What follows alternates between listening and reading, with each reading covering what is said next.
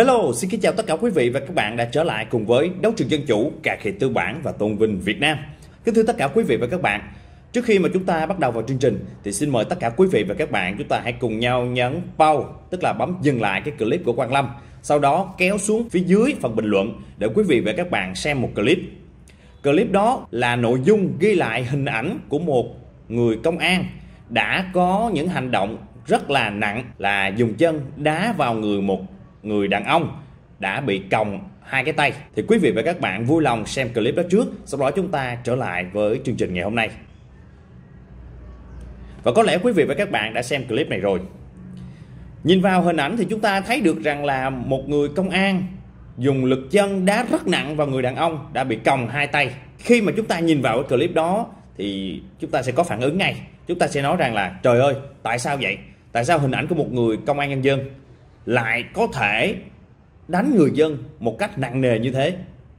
Đánh một cách túi bụi, không cho con người ta thở luôn. Và khi mà phát hiện được cái clip này, có rất nhiều người bay vào chửi anh công an. Chửi lên bờ xuống ruộng. Chửi thằng cha nội công an này quá trời quá đất. Xin Quang Lâm xin phép được đọc một số cái bình luận để cho quý vị và các bạn biết được cái thông tin chửi là như thế nào. Mấy thằng mới nghỉ việc xong, giờ lại đến thằng này nghỉ việc 16 cú đá. Tức là ông này ổng đếm được cái số đá mà người công an kia đã đá vào cái người đàn ông bị còng tay. Quá rõ ràng, cậy quyền đánh dân, không có khả năng phản kháng, không có khả năng tự vệ đá kiểu này không bay bộ quân tịch, không bay khỏi ngành công an nhân dân thì đến chịu với bến tre. Tước quân tịch thằng ác nhân này, đánh một người không có sức kháng cự mà làm như hay lắm, chả trách nhiều việc ngoài tầm kiểm soát. Xem xét cho thằng này về vườn, nó đá như đá bố nó vậy. Ác quá, giày đinh mà đá kiểu này thì rơi quân hàm là cái chắc. Ác vậy cha 17 cái, có cái ké thằng đi đầu. Một lũ khốn trong lúc người dân hai tay bị còng lấy gì họ tự vệ đây? Đá người như trái banh vậy. Nhìn thấy những hình ảnh này xem đau lòng lắm lũ khốn. Loại súc vật phản phúc đầy tớ mà lại đá đánh ông chủ của nó đúng là súc vật. Và ý của cái bình luận này nói là uh, người công an là đầy tớ của nhân dân và cái người đàn ông bị còng tay là ông chủ của công an mà công an lại đánh ông chủ như vậy. Và còn rất rất nhiều những bình luận khác lên tiếng chỉ trích và chửi anh công an xã này rất là nhiều. Thì sau khi mà Quang Lâm thấy cái clip này, Quang Lâm không chửi, mà Quang Lâm có nhìn nhận trước. Phải nói thật với quý vị và các bạn, bị nhiều vụ lắm rồi. Có nhiều cái clip đưa ra, xong rồi là cắt đầu, cắt đuôi, không cho người ta biết nguyên nhân tại sao. Rồi bắt đầu là lên tiếng chửi, chỉ có chửi trong cái giai đoạn có clip thôi. Còn trước đó thì không có biết do vậy Quang Lâm đã tìm hiểu xem cái thông tin tại sao người đàn ông bị còng tay lại bị cái anh công an viên xã này đánh đến như thế. Thì có rất là nhiều tờ báo tìm hiểu thì nguyên nhân của sự việc như sau. Theo thông tin ban đầu, người đàn ông bị đánh tên D, ngụ tại xã Thành Triệu và người mặc sắc phục công an là công an viên của xã Thành Triệu. Hình ảnh được lan truyền nhanh trên mạng xã hội từ ngày 27 tháng 1, tức mùng 6 Tết, còn vụ việc này xảy ra đã hơn một tháng trước, vào tối ngày 20 tháng 12 năm 2022. Thời điểm trên, ông D nhậu say về nhà rồi có hành vi gây rối trật tự công cộng, cầm dao gây thương tích cho người khác. Và Quang Lâm có đọc một số bài báo thì có cái tờ báo thì nói là gây thương tích cho vợ hờ và có tờ báo thì lại gây thương tích cho cái ông chủ nhà. Khi lực lượng chức năng gồm công an xã và dân quân tới hiện trường lập biên bản xử lý thì ông D có lời lẽ xúc phạm nên lực lượng chức năng khống chế đưa về trụ sở công an xã để làm việc. Sau đó ông D tìm cách bỏ chạy thì bị khống chế và xảy ra tình huống như clip trên. Công an tỉnh Bến Tre và công an huyện Châu Thành đang tiếp tục xác minh để xử lý vụ việc. Thì thưa quý vị, với những thông tin mà các báo đưa gần như là giống nhau thì chúng ta có thể biết được rằng là cái ông mà bị trói cái tay, bị còng cái tay lại tức là một người đàn ông tên D, nhậu xỉn rồi. Sau đó dùng dao gây thương tích cho người khác. Và khi các lực lượng chức năng đến nơi để mà xử lý anh ta, thì anh ta lại có những cái lời lẽ xúc phạm đến những người thực thi công vụ. Sau đó thì anh ta không có hợp tác mà lại bỏ trốn, cố gắng tìm cách bỏ chạy. Cho nên lực lượng chức năng phải khống chế. Và sau khi khống chế thì anh công viên à, công an công an xã ảnh khá là bực tức và cùng với sự bực tức nóng nảy với cái lời lẽ bị xúc phạm thì anh công an xã đã thể hiện một cách nó khá là nặng nề đối với cái người đàn ông bị còng tay và Quang Lâm nhận thấy được rằng là có rất là nhiều trường hợp không biết được nguyên nhân tại sao mà người đàn ông còng tay bị đánh. Cho nên Quang Lâm mới tìm hiểu. Và sau khi tìm hiểu, thì Quang Lâm nói cái ý của mình lên trên mạng. Quang Lâm muốn mọi người biết rằng là lý do tại sao người đàn ông đó bị đánh. Và có rất là nhiều người, họ đem, họ không biết thông tin, nhưng họ cứ vào, họ chửi trước, họ chỉ chửi trong cái giai đoạn mà họ thấy là cái anh công an này đánh cái ông bị còng tay mà thôi. Và họ nói rằng là cái ông bị còng tay là người bị yếu thế tại sao người ta bị còng tay? Người ta là kẻ yếu rồi mà anh công an này lại đánh người ta để làm chi vậy? Mấy anh quá đáng quá mấy anh là công bọc của dân mà mấy anh thể hiện như vậy. Mấy anh có xứng đáng là người công an nhân dân hay không? Nhưng mà quan lâm tìm hiểu thông tin thì quan lâm thấy rằng là những cái ờ, anh mà ờ, đang ờ, gọi là bên vực cho cái anh bị đánh á, thì Quang Lâm thấy giống như những vị Phật online vị Phật tái thế xuống dương gian để có thể độ và hóa kiếp cho con người hay sao á cho nên là họ rất là yêu thương những người mà chống đối lực lượng chức năng, sau đó là buông những lời lẽ xúc phạm người ta. Đấy, thì Quang Lâm có đưa những cái thông tin này ở lên trên đấu trường dân chủ, thì Quang Lâm cũng nhận được những cái à, cái phản hồi cũng rất là tích cực và rất là hay nha quý vị. Để Quang Lâm đọc cho quý vị và các bạn nghe có bình luận nói rằng mình là fan cứng của bạn nhưng việc này mình không đồng quan điểm với bạn. Dù thế nào đi nữa cũng không được cư xử như vậy sẽ ảnh hưởng tới ngành công an vì anh ta là công an nhân dân chứ không phải côn đồ. Này, một uh, bình luận rất là dễ thương. Và tiếp theo thì đây là một trong những cái uh, bình luận khá là nặng nề liên quan tới Quang Lâm của một nhân vật rất là tên dễ thương lắm. Cái này tao không đồng ý với mày Tao mong rằng người bị đánh trong clip là bố mày hay anh em nhà mày xem mày có nói vậy được nữa không?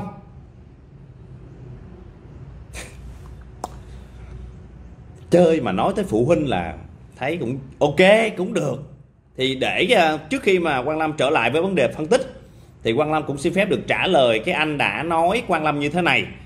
À, cái này tao không đồng ý với mày tao mong rằng người bị đánh trong clip là bố mày hay anh em nhà mày xem mày có nói vậy được nữa không? Việc đầu tiên thì uh, chúng ta sẽ không có chơi trò là mong sao cho người nhà để uh, vi phạm pháp luật để rồi bị đánh. Uh, Quang Lâm nói thật với quý vị và các bạn một điều. Nếu như người nhà của Quang Lâm mà có say xỉn nhậu nhẹt rồi cầm dao đánh người này đánh người kia rồi gây thương tích cho người khác thì khi mà lực lượng chức năng đến Quang Lâm rất mong lực lượng chức năng sẽ thực thi công vụ đó là bắt.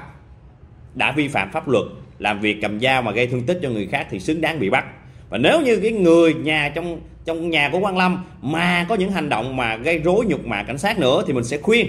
Còn nếu như mà họ khuyên mà không được, họ cứ chửi tục chửi bậy cảnh sát thì Quang Lâm nghĩ bị đánh là đáng. Đó là nói thật. Bởi vì chúng ta, mỗi người sinh ra trong một cái gia đình có sự giáo dục hay không thì Quang Lâm không biết.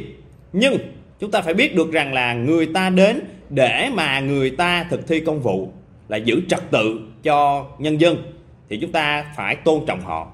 Đó là điều tất nhiên phải làm. Còn đây không tôn trọng mà còn chửi bậy chửi tục chửi thề xúc phạm đến hình ảnh của công an nhân dân thì người đó xứng đáng bị đánh.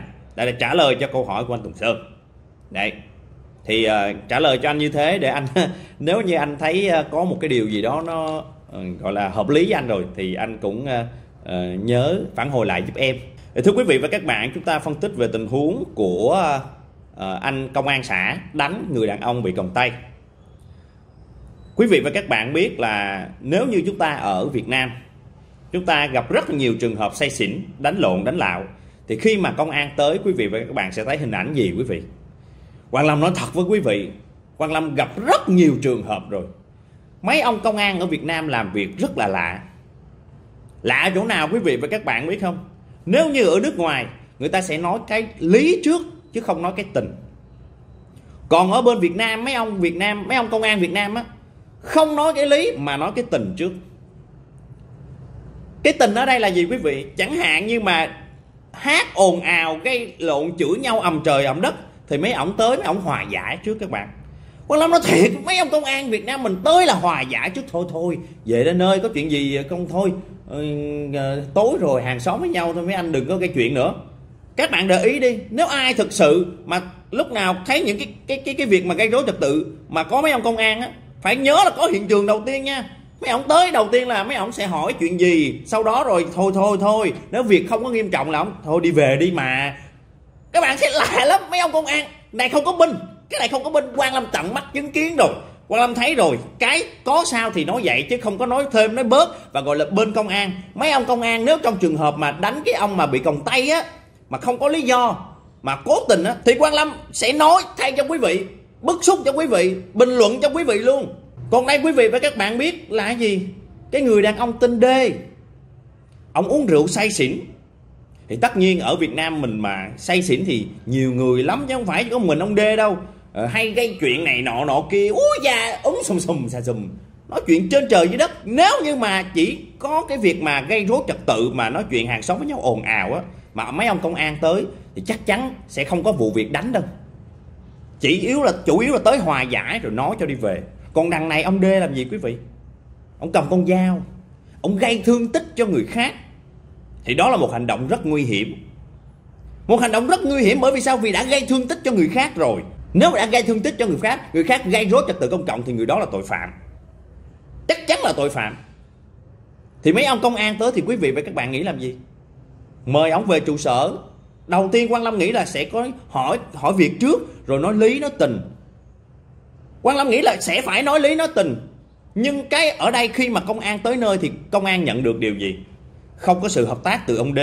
Và ông D chửi bới công an quan lâm nghĩ rằng là nếu mà chửi bới ờ, bình thường thôi thì không sao đâu. Nhưng mà có lẽ là đã xúc phạm khá là nặng nề. Và quan lâm nghĩ chắc rằng là chửi ờ, nói khá là tục quý vị. Đưa cha mẹ, nhân phẩm, rồi của người công an nhân dân ra rồi chửi. Và nếu như chửi xong rồi thì hợp tác với người ta đi về đồn để người ta giải quyết. Còn không quý vị, ở đây là gì quý vị biết không? Ông đê ông bỏ chạy nữa. Ông không chịu hợp tác mà ông bỏ chạy luôn. Đó gọi là gì quý vị biết không? Chống đối người thi hành công vụ tội nặng. Đấy.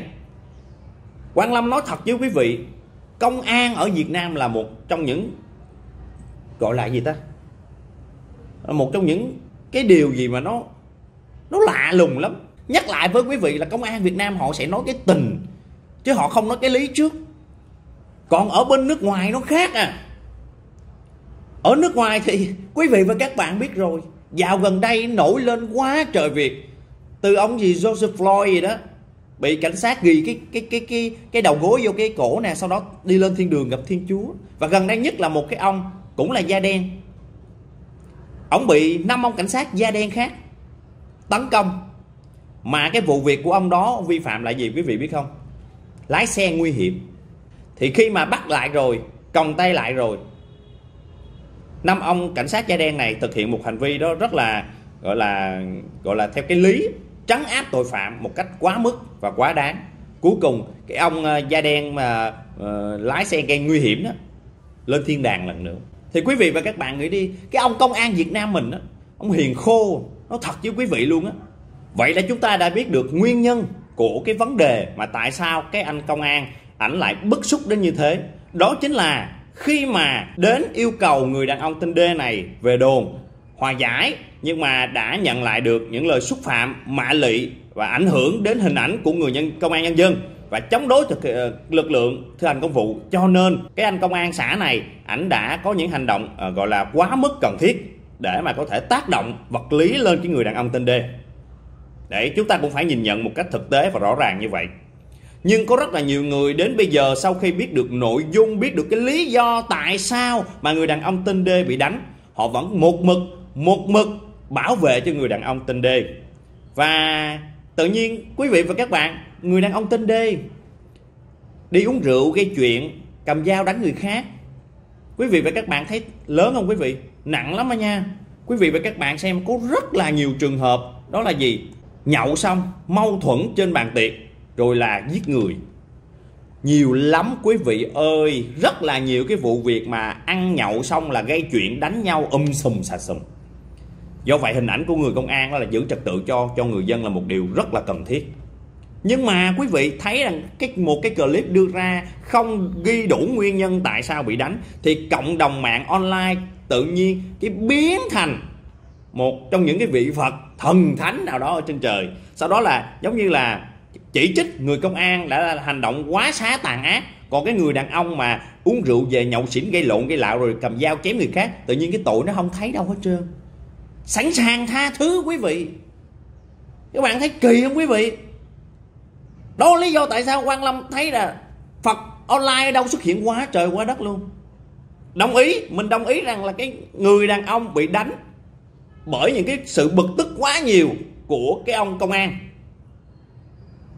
Tuy nhiên, quý vị và các bạn quên mất một điều là cái nguyên nhân tại sao mà cái người đàn ông nó bị đánh phải hiểu biết nguyên nhân đã, nó mới dẫn đến kết quả. Những ai mà nào mà là phật online cũng biết rồi, có nhân, có quả mà. Quan long nói thẳng luôn quý vị, nếu trong trường hợp mà đi nhậu xỉn về gây lộn gây lạo mà đánh người, gây thương tích cho người ta thì công an bắt là chuyện đúng, không có sai.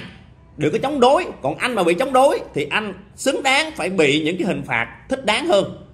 May cho anh là anh đang sống ở việt nam. Anh đang sống ở việt nam mà anh có hơi, có nhân quyền đó là anh vi phạm pháp luật, anh đánh này nọ nọ kia mà anh còn được sống, cái quyền, cái nhân quyền của anh còn có đó. Cho anh thử anh thử qua bên mỹ coi, là một trong những đất nước mà tự do tôn trọng nhân quyền, gọi là bậc nhất thế giới coi. Trời ơi, anh vô trong ờ, nhà hàng thôi, anh đem anh xỉn xỉn anh cầm con dao, anh rút con dao anh chưa kịp làm cái gì thôi á. Nó cho anh lên gặp thiên chúa liền, bởi bằng bằng bằng. Cuộc sống nó là như vậy quý vị. Hôm nay quang lâm lên clip thật sự cũng có những cái bức xúc bởi vì có những người họ đem họ đưa cha mẹ quan lâm ra để họ nói những cái vấn đề mà tưởng chừng như là họ họ biết suy nghĩ, nhưng mà cuối cùng họ không có suy nghĩ. Chán lắm quý vị. Trong việc này, phải nói thật với quý vị và các bạn một cách khách quan và công bằng. Là người đàn ông đó, người đàn ông tên D đó, bị đánh. Một phần rất xứng đáng.